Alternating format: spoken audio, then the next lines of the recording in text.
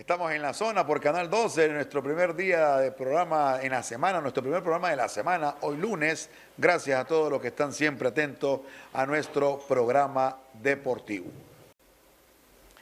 Vamos a hablar de Miguel Cabrera y su honrón 500 en grandes ligas.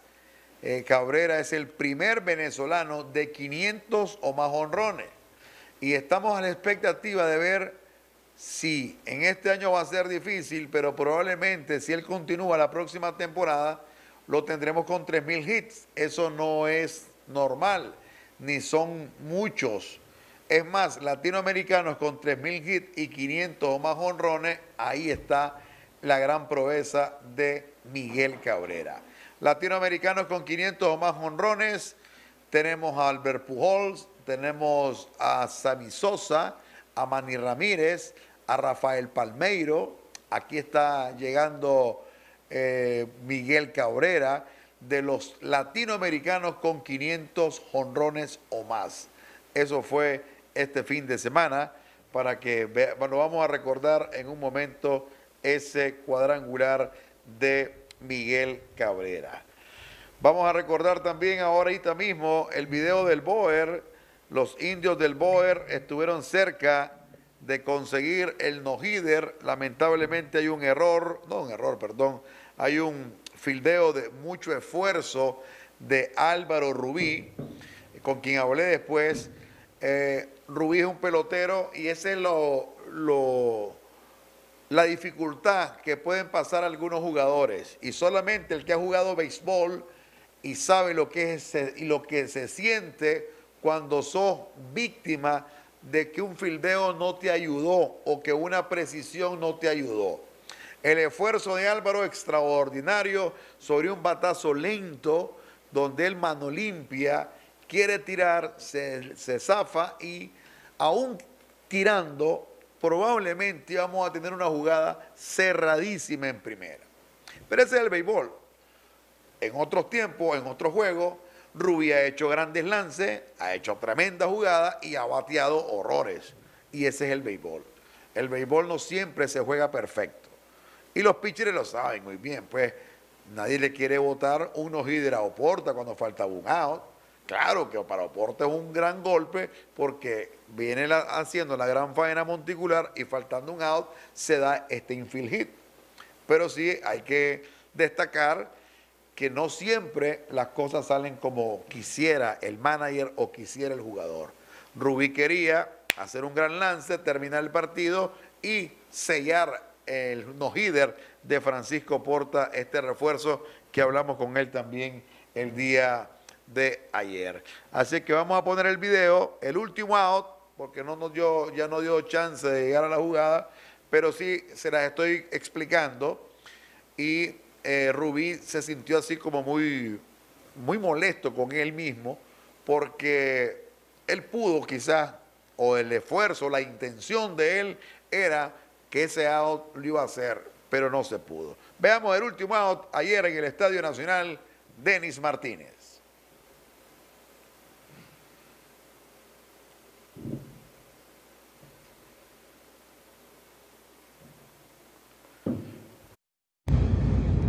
Aquí está el zurdo Francisco Porte, el refuerzo del equipo Boer. Lamentablemente perdió el no-hitter en el último inning cuando faltaba un out. Le faltaba un out y vino el infield hit por tercera base. Y aún fildeando Rubí queriendo tirar era difícil sacar. Y aquí está ganando por blanqueada 6 a 0. Un solo hit nada más mientras que el Boer 13 imparable, dos errores. El Boer fabricó dos carreras en el cuarto y cuatro en el quinto. Y este último que se le ha hecho de Uriel pitcher, 3 y 2, cuenta máxima, 2 out. A punto de terminar, listo Porta, lanza. Se tira y conecta un fly al bosque izquierdo, se va a acabar el partido. El fielder la busca, la busca, la busca, la busca. Y se acabó. Oporta gana el juego, picheo de un hit. Y el Boer empata la serie con Granada. Veamos las reacciones del lanzador zurdo, Francisco Porta. Dolido la manera como se pierde el no o bueno, al final ganaste. Bueno, primeramente me estaba enfocando a, dominar a los bateadores y cuando yo este, dentro a pichar, yo no pienso, pues, si me han pegado hit, me olvido de eso. Solo estoy pensando cómo trabajé al primer bateador, si me vuelvo a enfrentar. Pero ahí ya no se pudo. Le doy gracias a Dios, pues, que salí con bien. Y gracias a Dios ganamos esta victoria que tanto necesitábamos también. Ya el poder necesitaba ver algo nuevo tuyo, ver más picheo, más calidad. Claro que sí. Sabíamos que este, estaba pasando en un mal slump, pero gracias a Dios estuve trabajando duro ahí en los picheos, en los rompientes, y gracias a Dios pues este, estoy saliendo de ese mal slump. Bueno, y hasta el último te estaba costando porque por poco perdiste la blanqueada. Sí, problema es que mi, compañero en la tercera base, oí que él me la pidió, si no tal vez, porque era, él era un corredor pesado, si era, tal vez hubiera llegado, yo tal vez lo hubiera sacado sí, no se pudo, pero eso se lo dejamos a Dios y es parte del béisbol también. ¿Te viste mejor que en otros momentos lanzando? Claro que ha habido relevos que no, que no has convencido. Yo sé que sí, este, ha fallado con el equipo, y, pero esperamos hacer las cosas mejor cada día más, hermano. ¿Cómo ve ahora el Boer luchando por el primer lugar? No ha sido fácil, toda la serie. No, sabemos que todos los equipos están iguales, hermano. No hay equipo pequeño aquí. Ya vimos que Granada, tiene excelente equipo también. Ayer lo vimos que lo blanquearon los dos juegos de ayer y hoy pues fue diferente, gracias a Dios. Gracias Francisco, para tu bola cerca ahí en la zona. Toda la familia zona, Talolinga, Nueva Guinea, sí. todo se le da central caballo. Y aquí también. Siempre están atentos. Ahí es, de calle. Poderita hasta la muerte. Gracias. Francisco Porta logró su tercera victoria por una derrota en la temporada regular. Este refuerzo que el Boer ya estaba esperando de él, eh, gran trabajo, una mejor presentación y yo creo que lo logró este fin de semana. Tengo una llamada telefónica. Buenas tardes. Buenas tardes, Agustín Cedeño. Este, quería preguntarle que cómo salió la, serie este fin de semana. El Boer está jugando con Granada, que cómo salió, si ganaron o perdieron, Agustín. La serie quedó 2-2. Increíblemente, Granada ganó dos juegos el sábado por blanqueada. Se pensaba que iba rumbo a ganar la serie, pero el Boer le ganó los dos juegos del domingo. Y el del domingo, el primero, lo ganó que fue parte, fue la reanudación del juego del viernes que se había suspendido por lluvia. Y el Boer consiguió la victoria sin problemas. Eso fue el día de ayer, los dos partidos. ¿Cómo quedaron las series? ¿Quiere saber el aficionado? Ya le dije Granada 2, Boer 2. La serie Chinandega Chontales va 2-1. Hay un juego que está pendiente eh, para realizarse. Va ganando Chontales la serie 2-1 a Chinandega. Estelí Rivas quedaron 2-2. Rivas había ganado los dos partidos del sábado. El Estelí ganó los dos del domingo. Y vean qué cosa más interesante. Rivas ganó sus dos partidos en Estelí y Estelí ganó sus dos juegos en Rivas. O sea que los dos equipos como visitantes fue que ganaron sus respectivos partidos. Matagalpa eh, le metió los cuatro al conjunto de Ginotega. El Ginotega está casi muerto, por no decir muerto totalmente. Eh, los norteños, los matagalpinos, están consolidando su clasificación. León y Huaco, una serie difícil, quedó 2-2. El equipo de León había había alcanzado victoria en León, pero en Boaco los boaqueños ganaron 7 a 1 y 6 a 1. Igual pasó en esta serie. León ganó sus dos primeros partidos en León, pero no pudo arrancarle uno a Boaco en su estadio. Los tantos, tres victorias sin derrota sobre el equipo de la Costa Caribe. El último partido de ayer iba 1 a 1 en el segundo episodio. Eh, primero vino un ataque, un enjambre de abejas en el estadio, afectó a un camarógrafo eh, del canal 13 eh, que estaba transmitiendo. Eso provocó que llegaran los bomberos, agua por todos lados y después sobró agua porque vino un palo de agua de Padre y Señor nuestro que dejó el terreno inundado. Se pensaba que el juego se podía reanudar, esperaron hasta las 3 de la tarde y no había manera. El partido lo habían programado para que continuara hoy, 10 y 30 de la mañana, pero llovió el resto de la tarde y toda la noche en Bonanza, lo cual el terreno quedó movedizo.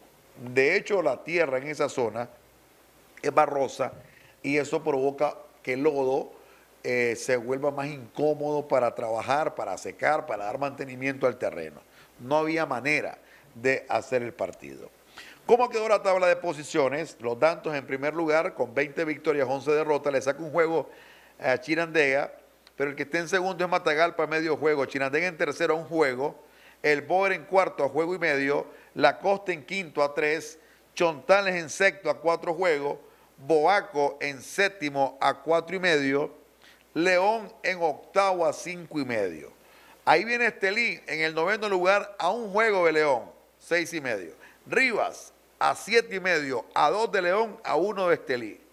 Granada, igual que Rivas, a siete y medio, y, y Ginotega ya nada que hacer. La lucha por el octavo lugar está bien socada. León, Estelí, Rivas. Boaco en alitas de cucaracha. Boaco amenazante. Y yo les dije el viernes, y lo vengo cantando desde el jueves, me da la impresión que Boaco bajó presión, no va a aguantar. Le sacaron dos juegos a León, eso es importante. Socaron. Pero necesita, ahora Boaco está con los pies hinchados, porque Boaco necesita ganar serie. Ya no el 2-2 no le va a ayudar, ganar serie. Y el fin de semana tienen que aprovechar esto de ganar la serie. Rivas va para la costa caribe. Supuestamente, según el pronóstico, toda esta semana es de ondas tropical, la onda no sé cuánto, no sé cuántas ondas van, uno queda en onda de tantas ondas, pero la verdad es que estamos en invierno. Agosto, septiembre son meses de mucha lluvia, inclusive octubre, lluvia torrencial. Por lo tanto, no es remoto no, hagan, que no hagan hacer el viaje de balde arriba, hombre, un asunto de costo económico. Igual para la costa caribe. La costa no puede jugar, no tiene entrada y entonces todos pierden.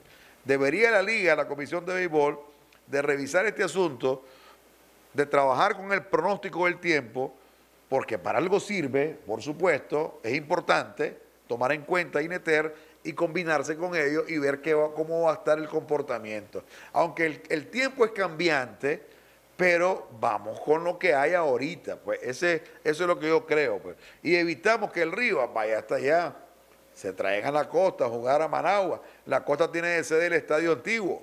Ahí hicieron en la serie con los dos partidos con Estelí. Ahí pueden sacar el juego pendiente con los tantos. O sea, no hay que dejar juego pendiente. Ya es hora que hagan los cuatro juegos con Chinandega porque también Chirandega necesita esos cuatro partidos, más ahora que ya no están en el primer lugar de la tabla de posiciones. ¿Qué dijo Álvaro Rubí, el tercera base del equipo Boer? Hablamos con él ayer después del partido. Esto fue lo que conversó el tercera base de los indios. Álvaro, no siempre el béisbol te premia ahora te viste en una jugada involucrada que en otros tiempos pues te hubiera sido más cómodo filiar. ¿Qué pasó en ese momento? Sí, así es, fue una jugada que desgraciadamente salió un, batazo bastante incómodo, un batazo bastante lento con un bateador, pues bueno, que ya todos sabemos que un bateador de fuerza para el cuarto bate del equipo de Granada y bueno, lamentablemente estaba jugando atrás, porque eso es lo que normalmente se juega con los bateadores así. Bueno, desgraciadamente salió el batazo lento, incómodo y nos quitaron el hit. ¿Y aún fildeando crees que se acaba? Sí, yo creo que sí, yo la cojo, creo que había este, bien cerrada. para hacer una jugada bien cerrada. Pero desgraciadamente encima de que el batazo fue lento, bueno, se movió para un lado también cuando picó. Bueno, lo importante también es empatar la serie, pues, porque haber perdido dos, dos días, un doble juego por blanqueada, como que no era no estaba tan fácil la cosa. Sí, así es, tuvimos un mal día el día de ayer, todos los peloteros, el equipo completo en colectivo, tuvimos un mal día, tuvimos un pésimo día, tanto los pitchers como los bateadores, eso pasa, vos sabes que esto es béisbol, estamos supuestos a fallar, estamos supuestos a que la cosa nos vaya bien y bueno, hoy venimos con toda la actitud, ya viste que gracias a Dios pues nos alzamos dos victorias y vamos a seguir peleando. Gracias Álvaro. Álvaro Rubí para la zona y tumbo la cerca. Ahí estaba Álvaro Rubí, el tercera base del Boer, hablando con nosotros después del partido. Y es que es verdad, hombre, ¿quién quiere eh, cometer o no fildear o no tirar? O sea, ningún, solo el que nunca ha jugado, por supuesto, puede hacer una crítica eh, a un pelotero de rendimiento, de alto rendimiento. Rubí ha hecho buenos lances, ha hecho buenas jugadas en su momento, pero ayer no pudo hacer el último y eso no es motivo de crítica. Llamada, buenas tardes. Chinandega no lo preocupa, Chinandega no lo preocupa, Agustín. En lo que en esta recta final, siempre en los campeonatos, sus tendencias, sus estadísticas son en primer lugar, segundo lugar se mantiene. Cuando llegan a la etapa de los playoffs, donde los juegos que duelen, ahí se desborona Chinandega. Entonces, eso no es preocupación. Chinandega, ahí ya no es tarde irse desboronando. Papá, mi hermano. Gracias, gracias por tu llamada telefónica. Siguiente, siguiente llamada. Buenos días. Agustín, buenas tardes. Para vos, ¿quién se queda? Pues esa lucha está dura, ¿verdad? Y Omar de nuevo está en alitas de cucaracha como tú en algún momento. Este, estuvo en buena posición en la primera vuelta, pero la segunda ha sido pues complicado para ellos. ¿Quién será que se pueda quedar de esos equipos? Pues León ya se quedó en algún momento en primera vuelta el año pasado, no sé ahorita pues cómo, cómo puede pasar, pero sí está duro eso. ¿Quién es el equipo para vos que puede quedar fuera? Está difícil ese pronóstico, está difícil ese pronóstico, ya vamos a hablar sobre eso. Adelante Roberto. Saludos, Agustín, ¿cómo está? Bien, hermano. ¿Cómo ves el Estelí? Creemos que vaya a pasar, Agustín. Nosotros los norteños estamos pendientes de nuestro Estelí. Vos que tenés buenas predicciones, ¿qué decís? ¿Pasa o no? Muchas gracias, Roberto Petray, por tu llamada telefónica. Bueno, eh, Omar es mi brother, es mi hermano, pero a veces creo que, que, no está funcionándole lo como él quiere el equipo. La diferencia es un partido, pues, pero no, no hay no hay este motivo de alarma por ahora porque la diferencia es un juego, pero sí eh, a partir de este fin de semana, Estelín necesita ganar serie. Definitivamente, necesita ganar, ganar serie. Dice Agustín, ¿qué pasó con Fidencio? ¿Qué tan es cierto que no le dieron de baja? Bueno, Fidencio está en México y sinceramente no sé qué pasó ahí. Eh, el, el teléfono WhatsApp para que me manden audio es 88 616217. Solo audio, por favor. Llamada telefónica eh, difícil. Solo audio. Adelante, buenas tardes. Bueno, se, cortó la, la, comunicación. Solo audio, por favor, con mucho gusto los atiendo sin problema. Cecilio Chan, esta serie va a ser clave, la que viene, definitivo. León va contra Granada.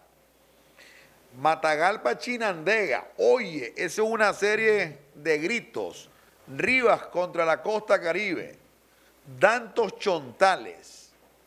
Dantos Chontales. Ahí va a estar las series de fin de semana. Repito, series de fin de semana. ¿Qué le queda a Estelí? Eh, el equipo de los Dantos va contra Chontales. El Chirandega va contra Matagalpa. El Boer va contra Jinotega. La Costa va contra Rivas. El equipo de León va contra Granada. Boaco va contra Estelí. Y el equipo de, de Rivas, Rivas para la Costa, ya les dije. Entonces, tanto Boaco y Estelí necesitan ganar la serie. Entre Boaco y Estelí hay dos juegos de diferencia. Si queda 2-2, que Boaco se sienta dichoso no Estelí. 2-2, Boaco exitoso. 3-1, Estelí espectacular. Omar sabe que tiene que ganar serie. Y el manager eh, González del equipo de Boaco sabe que no puede perder serie. Que un 2-2 lo mantiene vivo en la tabla de posiciones. Vamos con Granada. Vamos a hablar con el manager, sí. Vamos a hablar con el manager en este momento del equipo de Granada habla con nosotros después del doble juego que se perdió ayer en el Estadio Nacional. Voy a dar una serie que comenzó bien, con dos blanqueadas inclusive, y al final termina empatada. Se te escapó la posibilidad de ganar la serie, que es lo que más necesitabas. Así es el béisbol, pues. Eh, los muchachos pues que estuvieron abriendo ya nosotros prácticamente eh, nos está fallando nuestro cuarto abridor. Eh, después de los dos primeros y los relevos porque tenemos, que son los stoppers de los primeros partidos, pues, ya los demás pues son chavalos de que vienen forjando su trayectoria que tienen que ir agarrando experiencia durante todo el campeonato. Seguís pensando, sí, que todavía hay opciones, vas con León el fin de semana. Yo, creo que, que mientras haya posibilidades, pues uno tiene que pensar más allá de lo que podemos hacer. Sabemos que tenemos un equipo prácticamente joven, de, que no tiene mucha experiencia, a pesar de tres, cuatro con experiencia, pero los muchachos pues tratan de hacer lo más humanamente posible. Bueno, eh, no puedes quejarte mucho, pues, porque el, el- el elemento que tenés no te permite muchas cosas, pero aún así estás animado a cerrar fuerte en esta segunda etapa. Esto es lo que hacemos ver nosotros los técnicos, pues a los muchachos de que tenemos que cerrar fuerte, que mientras haya esperanza, pues tenemos que pelear cada uno de los partidos, tenemos que ir juego a juego, como les digo yo, y tratar de hacer las cosas, pues, que fundamentales dentro del béisbol. El picheo abridor de los dos, de los dos o tres primeros partidos, pues en nosotros es bueno. Ya, el cuarto, pues, eh, el muchacho pues no nos ha respondido, nos respondió en la primera vuelta, que es Kenny Cruz, ahora pues nos ha fallado. Esperamos pues que tenga, que eso pues llegue hasta ahí nomás y en las próximas tres series que nos quedan pues él pueda recuperar. Gracias, Bayardo. Bayardo Dávila para la zona y tumbo la cerca. Ahí estaba Bayardo Dávila, el mejor shortstop que yo he visto en, a nivel nacional desde 1990, fuera de serie de- definitivamente. Aquí hay llamadas telefónicas. Buenas tardes, ¿con quién hablamos? Buenas tardes, Agustín, buenas tardes. Saludos para vos. Eh, la verdad que es difícil, Agustín. Ahorita, eh, y ahí comparto con vos que es difícil un pronóstico cuando, cuando imagínate que el, prim- el, el equipo de los datos que está en primer lugar, eh, eh, pero todos los equipos están que a medio juego, que a un juego, que a tres juegos, que a cuatro juegos de- del equipo de los tantos, cuando todavía, si no más me equivoco, faltan 16 partidos. Yo creo que es difícil todavía dar un pronóstico y dar este cuáles serían los que se quedaran. Yo al único equipo que ya prácticamente miro eliminado es al equipo de Ginotega, pero los demás todavía tienen opción y, y- y no solo por el octavo puesto, Agustín, sino que en todas las posiciones, en todas las posiciones todavía está difícil este, escoger o predecir quién es el que puede quedar de primero, de segundo, de tercero, así sucesivamente. Yo creo que es muy difícil decir quiénes se van y quiénes se quedan cuando todavía toda la... eh, eh, la, la diferencia es de muy poco juego eh, hacia, hacia los que están en primer lugar. Buenas tardes, Agustín. Felicidades por tu programa. Gracias, hermano, por tu llamada telefónica. Sí, es cierto lo del octavo lugar, que se pueden correr otras posiciones, pero los que están interesados en clasificar es por el octavo. Otra llamada, buenas tardes. Buenas tardes. Ah, ¿Qué pasó? Adelante, buenas tardes. Y este fin de semana creo que los juegos son 12 que los toca León, Agustín. Creo que ahorita vamos con Granada y creo que tenemos una cierta ventaja con Ginotega, que Ginotega está muy desmoralizado y eliminado, pero vamos a tratar de meterle los cuatro, por lo menos esa ventaja. Y el juego duro que lo toca León es con Chinandega en la última serie, pero vamos a ver qué pasa, ¿no? Pero nuestra ventaja es que vamos con Ginotega, pero vamos, sabes que ningún equipo es fácil. Peor ya eliminado es cuando más te quiere bajar, pero ahí estamos. No se confíen de Granada. Además de que hay una rivalidad histórica entre León y Granada, no se confíen que Granada está metido en la pelea. Y Bayardo Dávila sabe que va contra León este fin de semana. León no tiene a Fidencio. eh, y hay, hay una opción de una serie cara de 2-2 que no le conviene a Granada. A León sí. León con un 2-2 se mantiene. Y, le- Granada con un 2-2 no sube. Y el calendario se le está acabando. Entonces, Chontale, Boaco y León, que están ahí, lo mejor que pueden hacer es ganar su serie. Pero en el, en el peor de los casos para ellos es que se reviertan esa serie. Vamos al, al- al medio, 2-2. Si León le saca 2-2 a Granada, se mantiene y se le va acabando el calendario. Si Huaco le saca 2-2 a Estelí, se mantiene y se va acabando el calendario. Chontales va con los tantos. Los tantos no quieren perder, no quieren ceder. Los tantos quieren quedar en primer lugar. Y a como están jugando, van encima de los toros. El 3-1 para los tantos pareciera un pronóstico para este fin de semana. 3-1 sobre Chontales. ¿Qué significa eso? Que si Chontales pierde tres juegos, lo mete en apuro, lo mete en aprietos, lo meten a dificultades de clasificación. Esperando y darle seguimiento al comportamiento de los otros equipos que están luchando por el octavo lugar.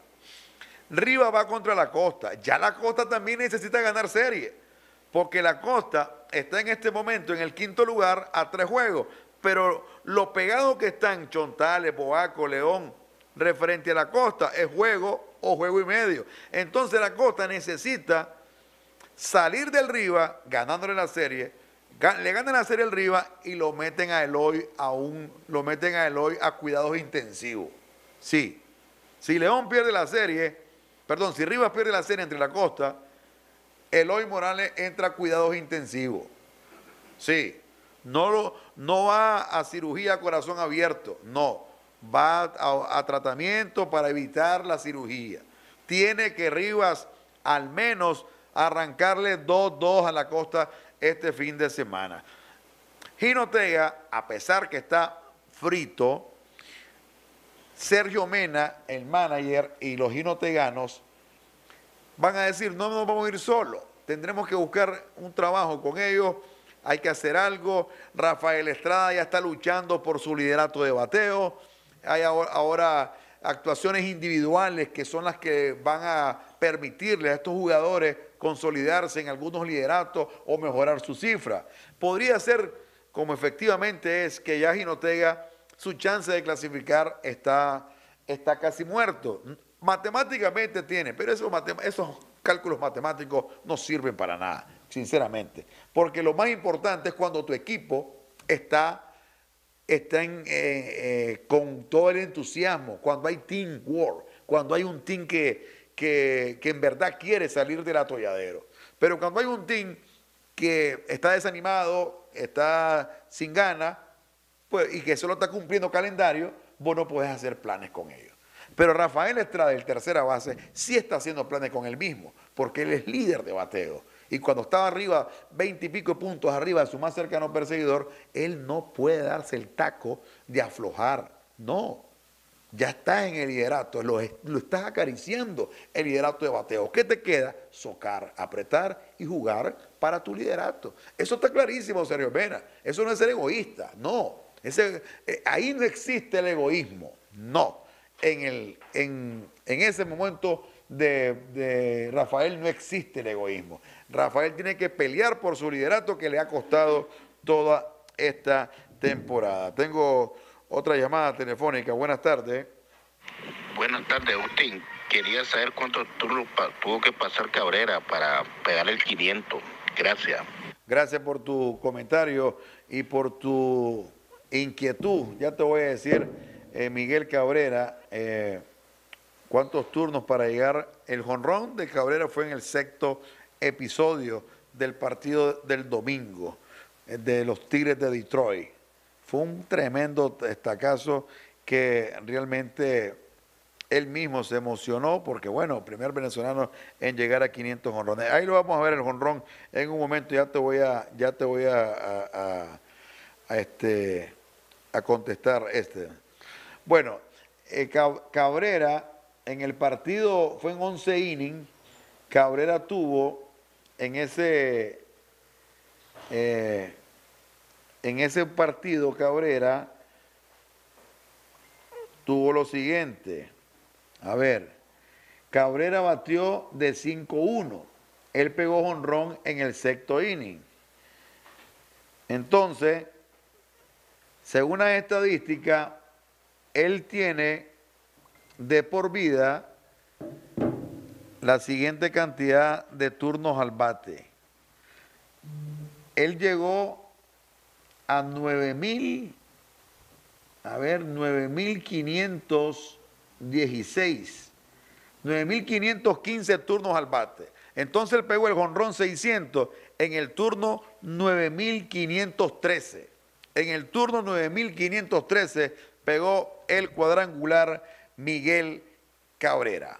Ahora el asterisco es darnos cuenta del imparable 3000. Él tiene 2955 hits.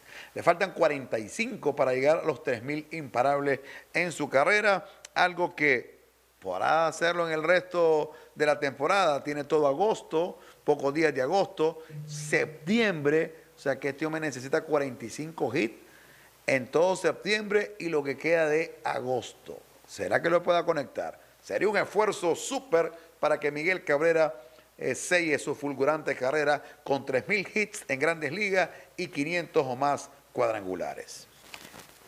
Queremos cerrar nuestro programa saludando a nuestro camarógrafo Héctor Escobar. Hoy está cumpliendo años, 50, 60, no sé cuántos son. Lo que sé que el hombre tiene mucho tiempo de trabajar en televisión. Es nuestro camarógrafo de la tarde, camarógrafo de Noticias 12, es alma y nervio de los camarógrafos aquí en el Canal 12. Lo saludamos a Héctor y que tenga un feliz cumpleaños y que el Señor le dé muchos años más de vida y de trabajo, porque su experiencia en la Cámara es importante para las nuevas generaciones. Será hasta mañana, si Dios quiere. Recuerden que estamos en nuestras plataformas de internet, en YouTube, nuestro canal de video de Tumbola Cerca. Dele suscribir y toque la campanita para que le diga que el video ya está listo para su reproducción. En Facebook, nuestro fanpage de Tumbola Cerca y en Instagram, búsquenos como Agustín Cedeño Garay. En Twitter, en la dirección arroba Agustín-Cedeño. Hasta mañana, si Dios quiere.